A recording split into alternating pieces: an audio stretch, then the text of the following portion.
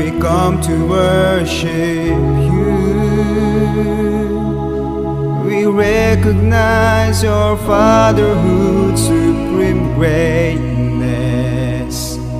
in nurturing kids.